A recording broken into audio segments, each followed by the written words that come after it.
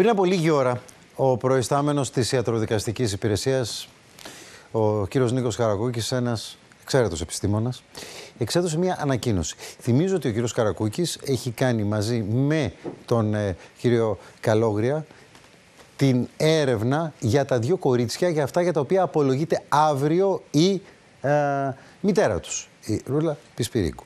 Μιλούμε λοιπόν για έναν επιστήμονα ο οποίος ε, ενέχεται σε αυτή την ιστορία. Υπήρξε μια διαμάχη με τον ε, κύριο Κούγια, διαδηλώσεων του κύριου Κούγια και αυτό που βλέπετε τώρα είναι η απάντηση με έναν τρόπο ε, πλάγιο από τη μια και ευθεία από την άλλη από τον κύριο Καρακούκη. Η Μάρη Λιλάπα είναι εδώ για να μας πει.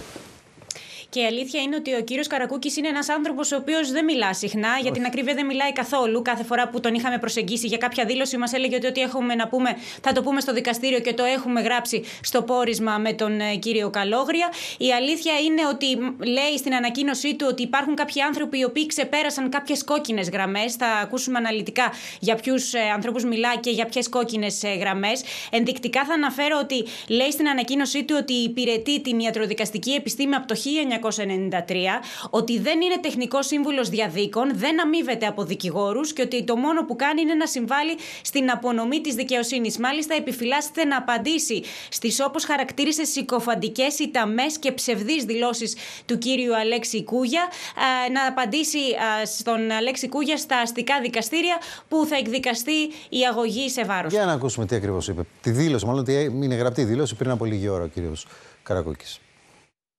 Υπηρετώ στην ιατροδικαστική υπηρεσία του Υπουργείου Δικαιοσύνης από το έτος 1993. Από το έτος 2008 διετέλεσα προϊστάμενος της ιατροδικαστικής υπηρεσίας Πειραιά έως το έτος 2013 και έκτοτε έως και σήμερα είμαι προϊστάμενος της ιατροδικαστικής υπηρεσίας Αθηνών. Η δική μου αποστολή είναι η έρευνα και η γνωστοποίηση των αποτελεσμάτων αυτής. Δεν είμαι τεχνικός σύμβουλος διαδίκων, δεν αμείβομαι από δικηγόρους και συμβάλλω στην απονομή της δικαιοσύνης ανεξαρτήτως κατηγορουμένων και κατηγόρων. Και τη σιωπή είναι πράγματι χρυσός, εκτιμώ ότι επειδή ορισμένοι έχουν υπερβεί τις κόκκινες γραμμές, πρέπει να τοποθετηθώ στις τρεις διαστάσεις του ιδίου ζητήματος που βρίσκεται στην επικαιρότητα τους τελευταίους μήνες αναφορικά με την ενοχή ή μη της κατηγορουμένης κυρίας Σίγμα Πισπυρίγκου. Αποκλειστικά και μόνο αρμόδια να αποφαθούν είναι τα δικαστήρια και κανείς άλλος. Αναφορικά με τις συκοφαντικές, οι ταμές, ψευδείς σε βάρος μου δηλώσεις του συνηγόρου υπεράσπισης της ανωτέρω Κούγια, στις οποίες ανεξάντλητα, συνεχώς και αδιάκοπα αυτός επιδίδεται όπως ότι δεν έχω πτυχίο, ότι δεν είμαι προϊστάμενος, ότι αυτοδιοριστήκαμε στην υπόθεση, ότι το πόρισμα είναι κομικό κτλ. Αρμόδια αποκλειστικά και μόνο. Είναι τα αστικά δικαστήρια, ενώπιον των οποίων θα εκδικαστεί η εναντίον του αγωγή μου και κανείς άλλος. Δηλώσεις που γίνονται δημόσια δια του τύπου στα πλαίσια επηρεασμού της κοινή γνώμης, με τις οποίες απαξιώνονται θεσμοί, καταρακώνονται υπολείψει, υποτιμώνται επαγγελματικά προσόντα, πολιετής επαγγελματική εμπειρία, εκπαιδευτικά ιδρύματα υποβιβάζονται και μηδενίζονται τίτλοι σπουδών όπως διδακτορικών, περί των οποίων λογικό να αγνοούν τον τρόπο κτήση τους οι μη κατέχοντες κτλ και γενικά επιθέσεις με ανίκιο τρόπο κατά παντός δυστυχώς προσβάλλουν την νοημοσύνη μας, τον πολιτισμό μας και δεν συμβάλλουν στην απονομή της δικαιοσύνης. Θα δούμε πώς θα εξελιχθούν τα πράγματα και τις επόμενες μέρες. Αυτή ήταν όλη η δήλωση την οποία ε, ε δημοσιοποίησε πριν από λίγη ώρα, το ξαναλέω, ο κύριος Καρακούκης. Τώρα, μιλάμε για μια δίκη που θα έχει πολύ σοβαρά διακυβεύματα, πολύ μεγάλα ερωτήματα. Σε κάποια θα πάρουμε απαντήσεις, σε κάποια δεν είμαι και καθόλου σίγουρος ότι θα πάρουμε απαντήσεις. Ερώτημα πρώτο και μείζον για την υπόθεση της Τζορτζίνας. Η περιβόητη κεταμίνη. Ανοιχνεύεται λοιπόν κεταμίνη στον οργανισμό του κοριτσιού, αλλά και ένα ειδικό φάρμακο για να καλύπτεται η κεταμίνη. Δηλαδή, το κορίτσι ενώ είναι εν ζωή, έχει πάρει κεταμίνη σε θανατηφόρα δόση, λένε κάποιοι επιστήμονες. Σε μη θανατηφόρα, ε, ακούσαμε την ε, κυρία Δημακοπούλου να λέει χθες από την πλευρά της υπεράσπισης ε, Πισπυρίγκου. Το ερώτημα είναι πρώτα απ' όλα πώς δόθηκε η κεταμίνη στο παιδί και ποιος την έδωσε. Οι γιατροί λένε δεν δώσαμε ποτέ. Είναι ένα φάρμακο το οποίο το έχουμε στο νοσοκομείο. Ε, υπάρχει πρωτόκολλο για να ανοίξει ένα φιαλίδιο. Δεν έχει ανοίξει κανένα φιαλίδιο, δεν το δώσαμε εμείς. Ποιος το έδωσε; Η δόση είναι θανατηφόρα ή δεν είναι; Πολύ σοβαρά ζητήματα, τα οποία ξαναλέω θα απαντήσει στο δικαστήριο. Ζήτησα από τον κύριο Αλεξάνδρου, που πολλές φορές μας βοήθησε με την επιστήμη του σε αυτήν την ιστορία, να είναι κοντά μας. Ε, θέλω να κάνω μια διευκρίνηση. Σε αυτές τις υποθέσεις, τις ποινικές, υπάρχουν ιατροδικαστές της υπηρεσίας, όπως είναι ο κύριος Καρακούκη, ο κύριος Καλόγρια, που το κράτος ζητάει από αυτούς να κάνουν την έρευνά τους και δεν αμείβονται από τους κατηγορούμενους ή τους κατήγορους. Υπάρχουν και οι υπόλοιποι επιστήμονες που μπορεί είτε η υπεράσπιση της κατηγορίας είτε η υπεράσπιση ε, του κατηγορητηρίου να τους έχουν ε, επαμοιβή για να βγάλουν το πόρισμά τους. Κύριε Αλεξάνδρου, απλό πράγμα τώρα. Κατά τη δική σας γνώμη, αυτή η ποσότητα της κεταμίνης που βρέθηκε τελικά στο κοριτσάκι είναι ικανή να το σκοτώσει ή όχι. Γιατί το χάσαμε. Στην αρχή ακούγαμε ότι μπορεί να σκοτώσει ελέφαντα, μετά ακούγαμε ότι είναι θανατηφόρα, τώρα ακούμε ότι μπορεί και να μην είναι θανατηφόρα. Τι λέτε;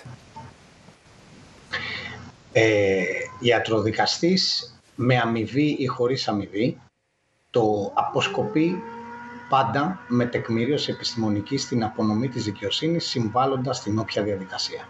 Σωστό. Άρα είτε είσαι ιδιώτης είτε είσαι δημόσιος κλητήρας, υπηρετείς το ιατρικό λειτουργήμα.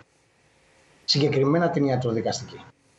Τώρα, όσο αφορά τη, τα 6,5 περίφημα μικρογραμμάρια ανά μιλιλίτρο αίματος της Τζορτζίνας.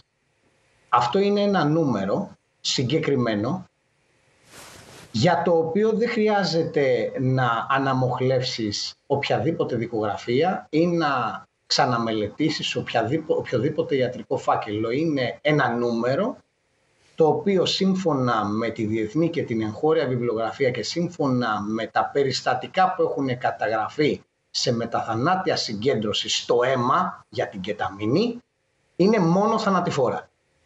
Ναι. Και επαναλαμβάνω με ένα απλό παράδειγμα που είχα αναφέρει πάλι στην εκπομπή σας ότι η συγκεκριμένη ποσότητα, γιατί δεν είμαστε ούτε ανησιολόγοι ε, ούτε τοξικολόγοι, αλλά έχουμε διαβάσει κάποια πράγματα.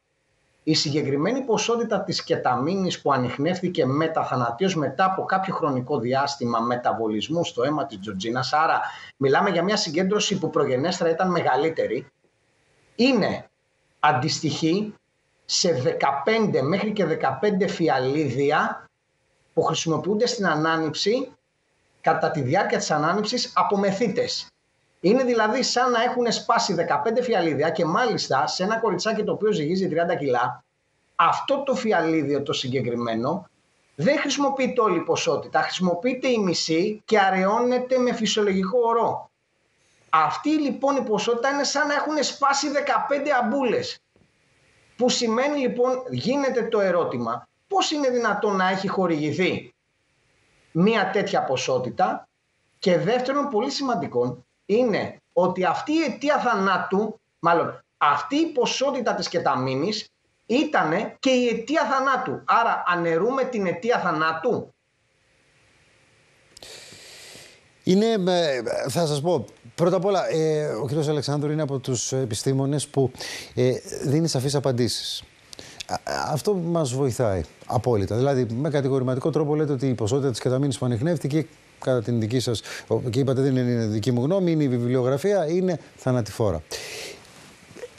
Δεν μπορώ να μην έχω στο μυαλό μου αυτό που είπε η κυρία Δημακοπούλου χθες, ότι δεν είναι, όχι απλώς δεν είναι θανατηφόρα, αλλά είναι ε, δόση στο πλαίσιο θεραπευτικής αγωγής. Καταλαβαίνετε, δεν σας δω να το κρίνετε, αλλά για εμά το Σαδαή που δεν έχουμε ιδέα, ακούγοντας αυτά τα δύο πράγματα που είναι εκ διαμέτρου αντίθετα, Πες τι στην ευχή συμβαίνει. Το φάσμα των συγκεντρώσεων δεν παίζει ρόλο το να παρουσιάσεις μία βιβλιογραφία στην οποία ή ένα περιστατικό το, στο, μέσα στο οποίο το φάσμα της συγκέντρωσης του συγκεκριμένου φαρμάκου μπορεί να μην ήταν θανατηφόρο. Για παράδειγμα, πολύ μικρότερη ποσότητα σε ένα παιδί, ακόμα και θεραπευτική να μπορούσε να είναι, μπορεί να μην ήταν, να μπορούσε να αντιρροπήσει ένας οργανισμός. Εδώ όμως δεν μιλάμε σε καμία περίπτωση προσωπική μου επιστημονική άποψη, προσωπική εμπειρία, προσωπική ναι, ναι, ναι, ε, διάβασμα. Δεν μιλάμε σε καμία περίπτωση για ένα κοριτσάκι της ηλικίας της Τζορτζίνας και των κιλών της Τζορτζίνας για θεραπευτική δόση. Μάλιστα, μάλιστα. Λοιπόν, και υπάρχει και ένα μείζον ερώτημα άλλο, το οποίο δεν είναι πια επιστημονικό, αλλά είναι θέμα του δικαστηρίου. Το πώς βρέθηκε η κεταμίνη στο αίμα του κοριτσιού. Θέλω να πω δηλαδή πώς χορηγήθηκε, γιατί το νοσοκομείο λέει δεν τη χορηγήσαμε, τα πρωτόκολλά μας είναι αυτά. Φαίνεται ότι από τις ποσότητες ότι δεν έχει βγει από το νοσοκομείο. Άρα κάποιος έδωσε κεταμίνη στο παιδί. Το ερώτημα είναι ποιος την έδωσε, πού τη βρήκε, ποιος του την έδωσε χέρι με χέρι. Εδώ κατηγορείται ότι την έδωσε η μάνα. Το κατηγορητήριο λέει αυτά. Θα δούμε την απόφαση του δικαστηρίου. Αλλά θέλω να πω είναι μια ιστορία ανοιχτή. Θα ακούσουμε πολλά και τελικά το δικαστήριο θα αποφασίσει. Ούτε εμείς εδώ, ε, ούτε εσείς που μας βλέπετε, φίλες και φίλοι. Κύριε Αλεξάνδρου, σας ευχαριστώ μία ακόμα φορά για αυτά τα λόγια που ε, είναι λόγια συγκεκριμένα. Είναι ο κύριος Αλεξάνδρου, ο κύριος Παντελής Αλεξάνδρου και θα τονίσω ξανά ότι είναι μια πολύ σοβαρή υπόθεση, πολύ κροτή υπόθεση. Ο δικός μας στόχος δεν είναι ούτε να κατηγορήσουμε, ούτε να καταδικάσουμε, ούτε να αθώσουμε ε, κανέναν. Και ειδικά μια μάνα η οποία έχει αυτή τη βαρύτατη κατηγορία. Βαρύτατη, ότι δικάζεται πως έχει δολοφονήσει την κόρη της και Κατηγορείται ότι έχει δολοφονήσει και τα άλλα τους δύο παιδιά. Υπόθεση από τις πραγματικά ξεχωριστές παγκοσμίως. Το δικαστήριο θα κρίνει αν είναι ένοχη ή αν είναι αθώα. Απ' την άλλη πλευρά και εμείς θα κάνουμε την έρευνά μας όσο οφείλουμε και θα παρουσιάσουμε όλες τις απόψεις όπως είχαμε και χθες την κυρία Δημακοπούλου. Να θυμίσω το διαγωνισμό μας για να πάμε στο Μάνο Δασκαλάκη.